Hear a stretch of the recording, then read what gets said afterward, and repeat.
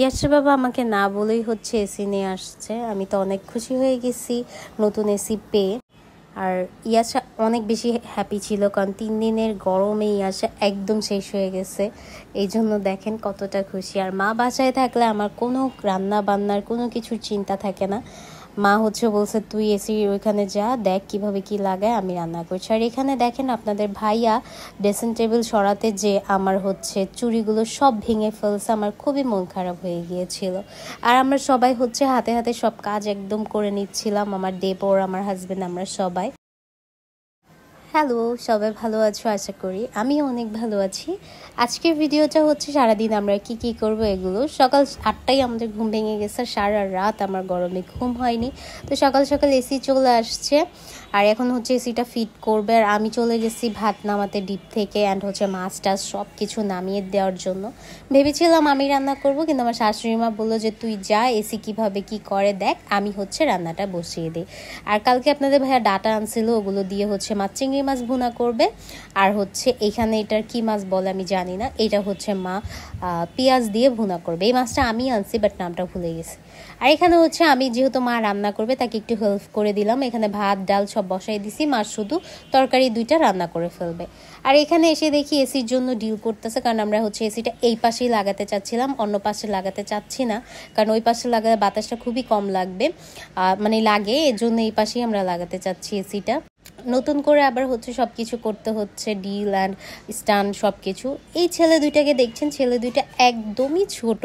আমার একদম ছোট দেবতার বয়সে মানে মেঝোটা না একদম ছোট যেটা ইরফানের বয়সে। মাসাল্লাহ মাত্র এসএসসি দিয়েছে একজন, আরেকজন পড়াশোনা করে না।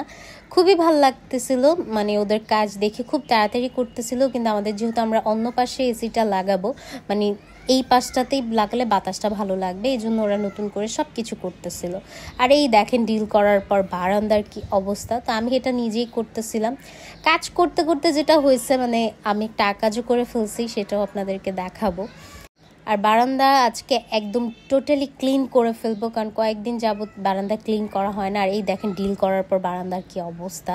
আর এখানে হচ্ছে কম্পোসারটা লাগাবে এই পাশে লাগাবে, এই জন্য হচ্ছে ওরা দেখতেছিল। আর আগে থেকে এখানে স্টান লাগানোই ছিল, এই জন্য ওদের আর স্টান লাগানো লাগে নাই। জাস্ট হচ্ছে ওরা কম্প্রেসারটা এখানে বসাই দিবে দ্যাটস ইট আর এখানে হচ্ছে আমি চিংড়ি মাছের যে মাথা, ওগুলো হচ্ছে মাকে ব্লেন্ড করে দিচ্ছি। আমি ওইখানে দেখছি ওদেরকে বলতেছি, এটা ওইভাবে করো ওইভাবে করো। আবার হচ্ছে এখানে এসে মাকেও একটু হেল্প করতেছিলাম। তো এগুলো ব্লেন্ড করে দিয়ে আমি চলে যাব, মা হচ্ছে রান্না করবে। আর এখানে যে একটা কাজ হয়, সেটা হচ্ছে আমি বাচ্চা দুইটার জন্য যারা এসি লাগাতে আসছে, ওদের জন্য তরমুজ কাটতে যে আমি আমার হাতটাই কেটে ফেলছি। আর দেখেন এখানে ইয়াসা কত হ্যাপি মাশাল্লাহ মাশাল্লাহ আলহামদুলিল্লাহ। আমার মেয়ের হ্যাপিনেসই আমার হ্যাপিনেস এই দেখেন আমার হাত দিয়ে অঝোরে রক্ত পড়তেছিল মানে হাত একদম কেটে গেছে। আর এখানে আমার মেয়ে আসছে হেয়ার স্প্রে লাগাতে আমার হাতে মানে ও বলতেছিল, ওফ মাম্মা। মানে ও বুঝতেছিল যে আমার ব্যথা করতেছে, কারণ ওরও একবার হাত কেটে গেছিল ফ্যানে লেগে। ও ভাবছে হয়তো বা আমারও কষ্ট হচ্ছে। আমার মেয়েটা না অনেক লক্ষ্মী মাশাল্লাহ আলহামদুলিল্লাহ। আর এখানে আমি এসে দেখি কি সুন্দর আমার শাশুড়ি মা রান্না করতেছিল। মা না অনেক ভালো, আলহামদুলিল্লাহ। আমার শাশুড়ি বলে বলতেছি না, আর হাত কাটার পর মা আমাকে অনেক বকা দিছে যে তরমুজ আমাকে বললেই তো আমি কেটে দিই, তোর তাড়াহুড়া করে কাটার দরকার কি ছিল?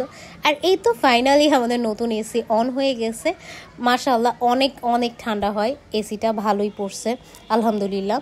এই দেখেন, আপনাদের ভাইয়া কাজ করতে করতে হচ্ছে আমার ড্রেসিং টেবিল সরাতে যে আমার চুড়িগুলো সব ভেঙে ফেলছে।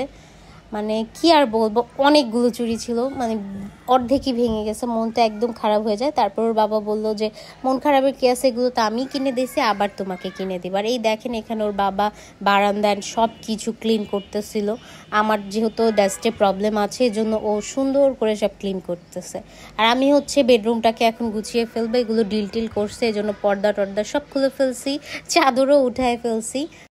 তারপর আমি অন্য রুমে চলে আসছি। এখানে হচ্ছে আমি বেডটাকে ভালো করে মুছে বেডটা গুছিয়ে দিব। তারপর হচ্ছে আমি আমার বেডরুমে যেয়ে বেডরুমটাও ভালোভাবে গুছায় নিব। সবাই থাকলে না কাজ অনেক তাড়াতাড়ি হয় আর অনেক বেশি ভালোও লাগে। আর এই বেডটা হচ্ছে আমরা নতুন আনছি, বেশি দিন হয় নাই এই রুমের জন্য। সোফার রুমে আসলে কোনো বেড ছিল না, কিন্তু আমার সোফার রুমটা মাসাল্লাহ অনেক বড়। এই জন্য ভাবলাম অর্ধেক রুম পরেই থাকে সোফা রাখার পর। এই জন্য এই বেডটা হচ্ছে এক সাইড দিয়ে আমরা এনেছি, যেন গেস্ট আসলে ঘুমাতে প্রবলেম না হয়। এখন আমার বাসায় দশ বারো জন আসলেও একসাথে কোনো সমস্যা নাই, ঘুম নিয়ে ইজিলি ঘুমাতে পারবে। এই জন্যই বেডটা আনার। ওইখানেই এসে বাবা পর্দা লাগাচ্ছে আর এখানে তার মেয়ে দেখেন কি মিস্ত্রিগিরি করতেছে। তারপরে আমি কি আর করব? কাটা হাত নিয়ে চলে আসছি, চুলা টুলা সব ক্লিন করতে। মা সব কিছু রান্না করে রাখছে। আমি জাস্ট হচ্ছে চুলাটা ক্লিন করব। তারপরও মা বকা দিচ্ছিল। আর আমার শাশুড়ি মা আজকে অনেকগুলো কাপড় ভিজেছে সে এগুলো ওয়াশ করবে। তা আমি বললাম, মা, আপনি ওগুলো ওয়াশ করেন। আমি হচ্ছে এগুলো করে ফেলি। আমার শাশুড়ি আমার বাসায় আজকে প্রায় বিশ দিনের মতো। মা একটু অসুস্থ, এই জন্য এই বিশ দিন তাকে আমি কিচ্ছু করতে দিই না কিন্তু আজকে সে একটু অসুস্থ, এই জন্য সে রান্না করছে। দেখেন কত মজার মজার রান্না করছে। কাপড় ধুইছে, কাজের মানুষ তো আসলে কাজ না করে থাকতে পারে না। তারপর হচ্ছে আমি সব ক্লিন করে ওর বাবা হচ্ছে ঘর মুছেছে, ওর আমার শাশুড়ি কাপড় ধুইছে, আর আমি হচ্ছে জাস্ট রুমটা গুছিয়ে দিয়ে ইয়াসে খাবারটা রেডি করে শাওয়ার করে চলে আসব। কারণ হচ্ছে আমার অনেক বেশি ডাস্টের প্রবলেম হচ্ছিল, যেহেতু আজকে পুরো বাসা ডিপ ক্লিন করছে, আর এই দেখেন আমি গোসল করে চলে আসছি। তারপর আমরা মা, মেয়ে, আমরা সবাই লম্বা একটা ঘুম দিব। ঘুম দিয়ে আমরা উঠবো হচ্ছে প্রায় সাড়ে সাতটার সময়। আর এই দেখে নিয়ে আসা নতুন এসির বাতাস খেয়ে একদমই ঘুমে শেষ। আর আমি এই তো ঘুম থেকে উঠছি সাড়ে সাতটায়। সাড়ে সাতটায় ওঠার পর আমি ফুড পান্ডা হচ্ছে পাস্তা অর্ডার করেছি। পাস্তা অর্ডার করে মজা করে হচ্ছে আমরা পাস্তাটা খেয়েছি, আমি, আমার দেবর। ও, ইরফান হচ্ছে আবার বিরিয়ানিও কিনে আনছে। আমার পাশের বাসায় হচ্ছে একটা বেবি কান্না করতেছে আমি ভয়েস ওভার দেওয়ার সময়। কেউ আবার ভাববেন না যে ইয়াসা কান্না করতেছে। আমার মেয়ে একদমই এভাবে কান্না করে না। ও খুব শান্ত। আর এই দেখেন, পাস্তাটা খুবই টেস্টি ছিল, আর এই ছিল আমাদের আজকের ব্লগ সবাই আমাদের জন্য দোয়া করবেন, আর ইনশাআল্লাহ এখন থেকে রেগুলার দিব ব্লগ কিছুদিন দিতে পারিনি, যেহেতু মা অসুস্থ ছিল, বাসার সব কিছু আমাকে করতে হয়েছে, আর মার টেক কেয়ারও টাটা!